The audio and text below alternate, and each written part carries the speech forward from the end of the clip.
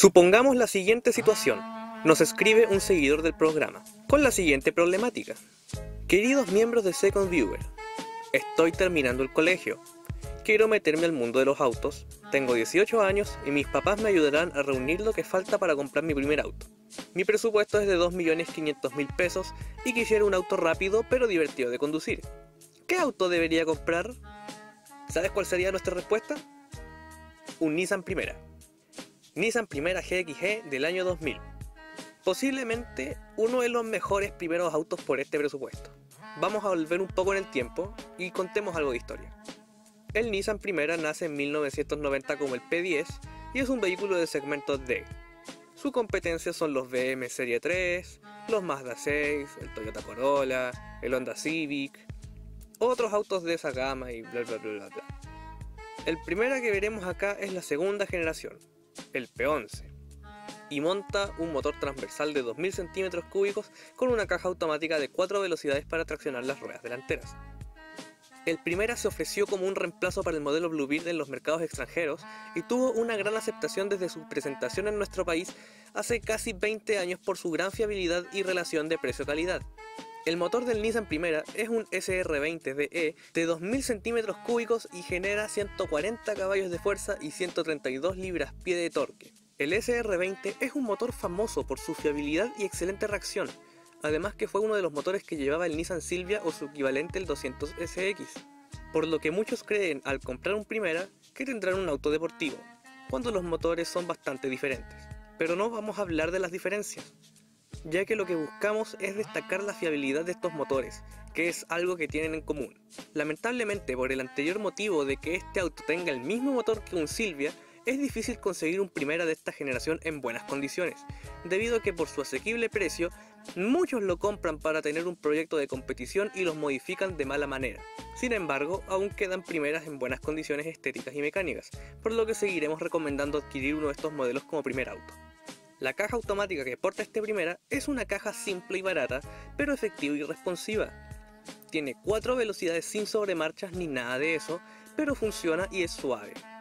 Las transiciones de velocidades no se sienten en lo absoluto. La suspensión y dirección del auto también son excelentes para ser un auto básico. Está diseñada para los malos caminos y las situaciones más terribles. También destaco que tenga frenos de discos en las cuatro ruedas, los cuales ofrecen un frenado eficaz y certero a la hora de necesitar presionar el pedal del freno. El primero que tenemos acá es la versión GXE. Es una de las versiones más equipadas en nuestro mercado nacional, debido a que tiene alzavidrios eléctricos, espejos eléctricos, frenos ABS, alarma, climatizador electrónico con aire acondicionado y mm, creo que eso es todo. Ya, mira, nos suena como el gran nivel de equipamiento considerando los otros autos que hemos visto en el canal, pero vamos a recordar el mercado y el segmento de este vehículo.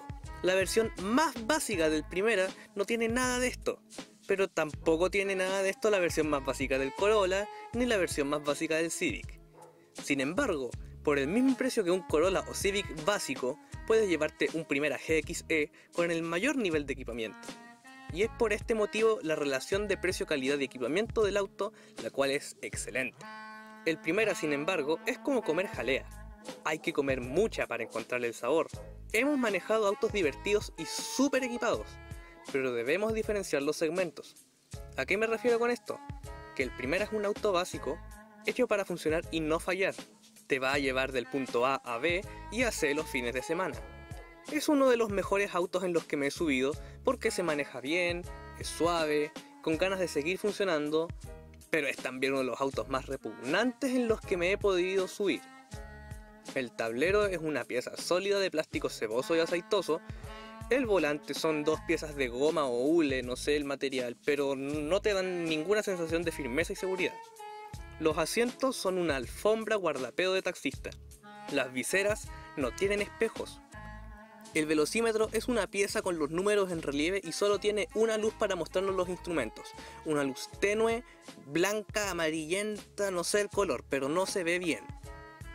La cosa es que el Primera es un excelente auto, pero es también un auto tan simple de diseño y tan poco imaginativo en su equipamiento que no tiene ningún defecto. Y ese es su mayor problema. El primero es un auto que va a pasar desapercibido en su estado original. No te va a destacar como una persona distinta, no te va a hacer sentir importante, no te va a mentir ni ilusionar porque tienes un excelente auto que funciona y que te lleva de A a B o a C los fines de semana. Y esa es su misión.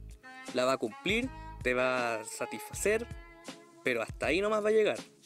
Te lo dejo con un ejemplo de la vida real.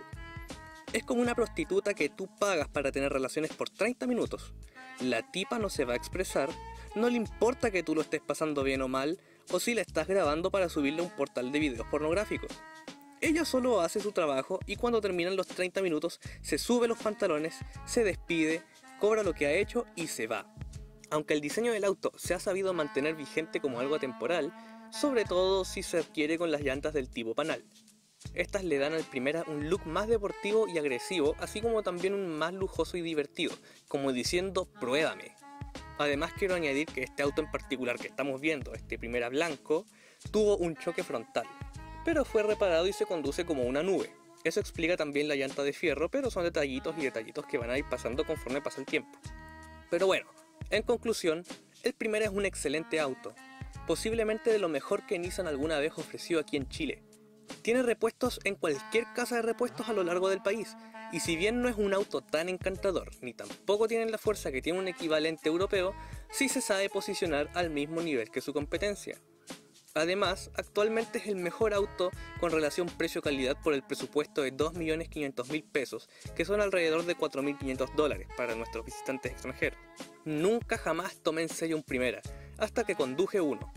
Son autos con mucho potencial como un auto de diario, y como un proyecto de competición. Su motor soporta hasta el trato más hostil y su chasis soporta cualquier accidente que pueda sufrir. Es seguro, es rápido, es económico y es divertido. ¿Necesitas algo más en un primer auto?